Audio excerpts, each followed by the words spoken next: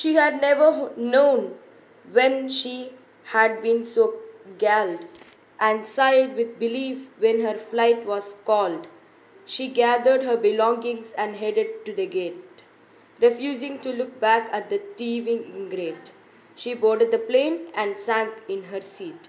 Then she, she sought her book, which was almost complete. As she reached in her baggage, she gasped with surprise. There was her bag of cookies in front of her eyes. If mine are here, she moaned in despair. The others were his, and he tried to share. Too late to apologize, she realized with grief that she was the rude one, the ingrate, the thief.